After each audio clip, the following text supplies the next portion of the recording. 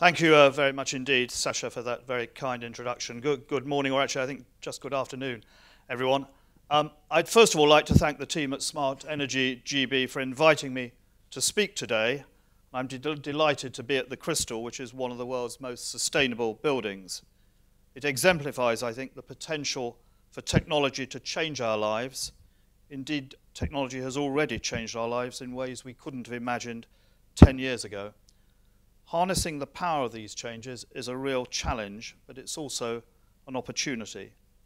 This venue and this event really illuminates some of those opportunities from smarter buildings and smart grids, which we've just been hearing about, to minimizing energy consumption, which is truly important, and taking advantage of renewable energy and the role these opportunities can play in tackling climate change. I was delighted to hear Jonathan Porritt. I've been a great disciple of his for some time, and I remember him coming to Wales and, and speaking when we met on a previous occasion, and he's done massive missionary work in this area, and also to listen to Robert Dender and the importance of, of smart grids, which is, is certainly central to what we're doing, and the, and the, and the question from Chi perhaps uh, uh underlining the importance of that. If I could perhaps just, just at the outset, outset say a little bit about the international position, which I hadn't intended to do, but to perhaps to try to pick up some of the, the gauntlet that was thrown down by uh, Jonathan. Um, and first of all, to say that I, I haven't met with a single fossil fuel uh, business since being in office. I'll probably be in trouble for that now. But uh, the, last, the last person I met, I met uh, in relation to business was actually Paul Polman uh, yesterday for, for breakfast, and he, along with Jeff Seabright, and of course in Unilever, they're doing fantastic things on deforestation, and it's very central to what uh, we as a department have focused on, what the Secretary of State has focused on, and what will be um, a leading part of the discussions in Paris, which start uh, at the end of this month, on the 30th of November. I think the, the next day is a, is a forest day, the, the 1st of December, and that's a very important part of keeping the uh, two degrees centigrade goal in sight, which of course is the focus. And um, I don't share some of the gloom and, gloom and doom that we, that we have on the climate change agenda. I mean, of course, we've got to be realistic, but if we look to see where we are now in relation to where we were at Copenhagen, we have made fantastic strides. We have a, had 156 countries have come forward with their uh, intended uh, nationally determined contributions. That, that's a fantastic amount and beyond what I think anybody really expected. And that, that is some, some of the really good news. There's still a challenge there. I mean, we're still ahead, unfortunately, of the 2 degrees centigrade in sight. We're about at 2.7, I think. So Paris isn't an end in itself. We'll need a, a proper review of that, I think, realistically, five, five years on to revisit all of that and to ramp things up. And we need a rules-based system. But, but th this country and this Secretary of State, Amber Rudd, has been central to what's going on. I mean, she has truly been working her socks off on the finance package. She's been asked to do that by uh, President Hollande, and she's been trying to pull countries together on the financial package on adaptation and on uh, resilience, and, and has, I think, been doing a, a, a, really good job in that regard. We have, of course, as a country, committed 5.8 billion pounds, 50% to mitigation, 50% adaptation. So I think that, again, is something uh, that we can be proud of. But let, let me come back to smart meters, if I might, and maybe there'll be, perhaps be a chance to enlarge on some of that, that later. As I say, the, the Secretary of State is pledged to acting on climate change. It, it's vital to preserving our economic prosperity, not least, and protecting our people and our country, and indeed, as I've just indicated, our globe. Uh, we also need to make great strides in improving energy efficiency. And in this uh, context, DECC's priorities are clear. We've, we've heard about affordability, which is important, as is security of supply. But decarbonisation is obviously central to everything that we do and decarbonising in a cost-effective way. So I'm here to talk about something that can make a contribution to all of these priorities and indeed is doing so. So not only will smart metering transform how the energy sector does business in the 21st century, it will transform consumers' relationship with energy use. And this is already beginning to happen. Let, let me say something about smart metering benefits because they will bring a range of benefits to people's lives. Let me say what I see as the key benefits of smart metering for consumers. They come conveniently, I think, in terms of three C's. And the first C is for control. Because by telling people in near real time how much energy they're using and how much it's costing them, the in house display empowers them to save energy, and that's important. Smart meters also mean an end to estimated bills, so consumers are empowered to manage energy costs like never before and avoid using uh, high, uh, sorry, and avoid unexpectedly high and inaccurate energy bills. More and better data from smart meters enables consumers to make more informed choices when choosing their energy supplier and getting the right tariff. And of course, we have now 31 energy suppliers, whereas five years ago we only had six. So there is a much more competitive and diverse uh, system out there of energy supply. The second C is for convenience. No longer will householders or suppliers need to read their meters. That'll be a thing of the past. It will save money and it'll save hassle. For customers on prepayment meters, topping up will be made easier, more like topping up on a mobile phone. And this, of course, is fantastic news and helps us to tackle the scourge of fuel poverty. Smart meters will also facilitate faster, more convenient switching of suppliers, as I've indicated. And the third C, and crucially important, is catalyst. Smart meters will provide a catalyst for a more efficient, smarter energy system, as we've been hearing. They'll provide more and better data on which to make investment decisions for Britain's energy infrastructure. Let's say something about the rollout so far. More than a million households are benefiting from smart meters today. In fact, we've rolled out over 1.7 million meters in all.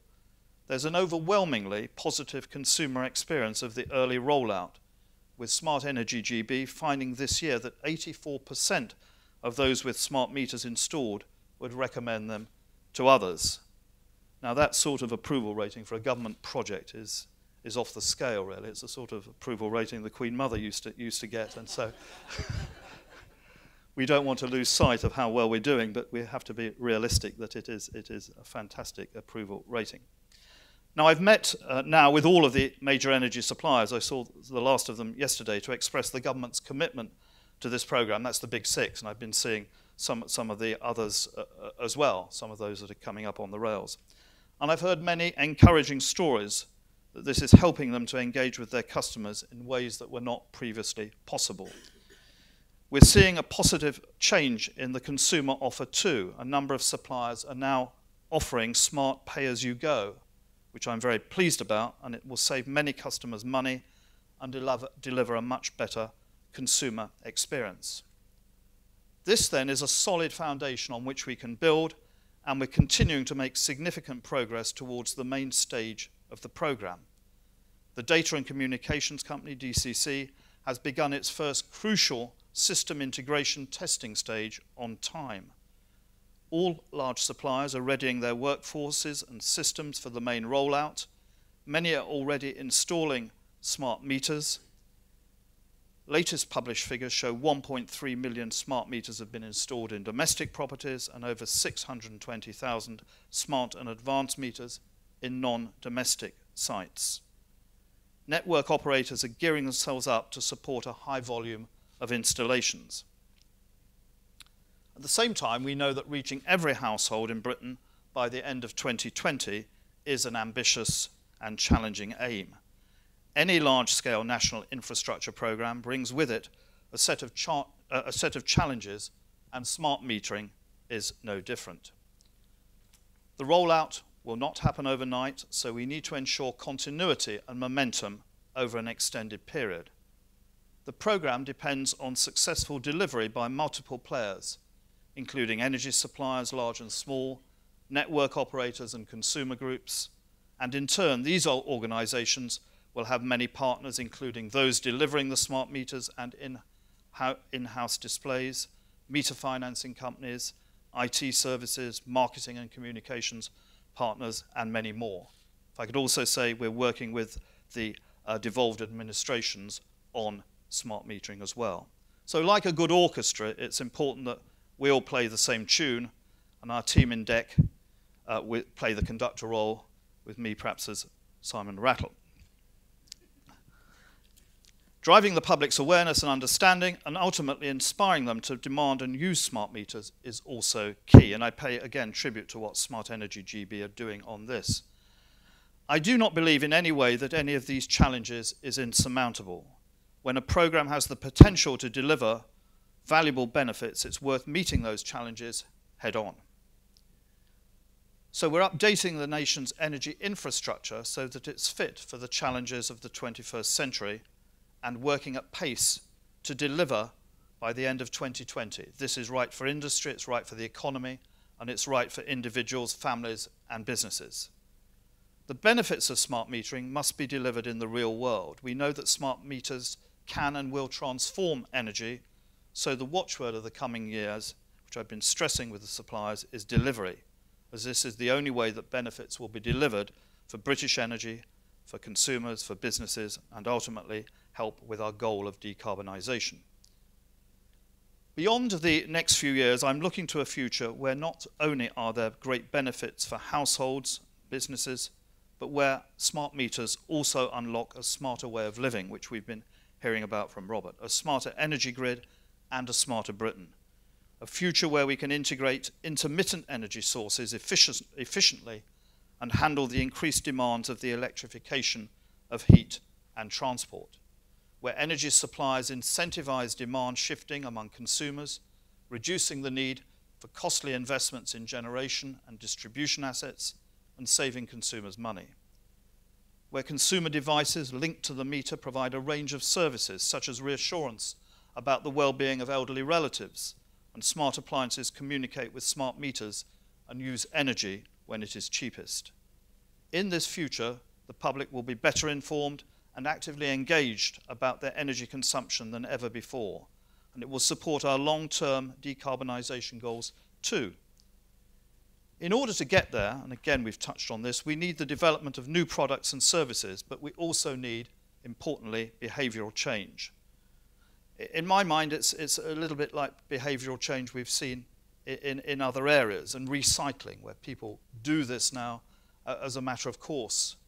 Perhaps a change of social attitudes as well, which we've seen, for example, in relation to drink driving. I think this is, in many ways, a parallel. The benefits that smart metering will bring will make a challenging journey worthwhile. Smart Energy GB are key to this journey and will need to reach out to a diverse British public, including the most vulnerable in society and the micro businesses that make a vital contribution to our economy. They're stepping, stepping up to the plate alongside good old Gaz and Leccy, who I'm sure we'll be seeing a lot more of in the months and years ahead. Energy suppliers are, of course, of course, have a crucial role in engaging consumers. They're at the front line of the program and must provide a good experience to their customers. But this program is about so much more than, than installing new meters and raising national awareness. If the benefits I outlined earlier are to materialize, then, smart, then suppliers and Smart Energy GB must meet the challenge of ensuring consumers are empowered with the right information to take control of their energy use. This is perhaps Smart Energy GB's biggest challenge, but it's also the biggest opportunity in many of our lives to make meaningful change to public behavior, to enable consumers to reduce energy consumption and also reduce our collective carbon footprint. In conclusion, we know that this is an ambitious program, and with ambition comes challenge. 2016 will certainly be a crucial year for the program. You do not achieve anything in any work, walk of life without hard work, dealing with challenges when they arise, and keeping an eye on the ultimate prize. I do not underestimate the challenge that lies ahead, but I'm optimistic and excited about both the journey and the destination. The government is committed to delivering smart metering by the end of 2020 it can be done if we all, government, suppliers, network operators, Smart Energy GB, and its national and grassroots partners work together. If we achieve that, then we will have the key to unlocking the future of a smarter Britain. That's what consumers will quite rightly demand, and that's what we must deliver. Thank you very much indeed.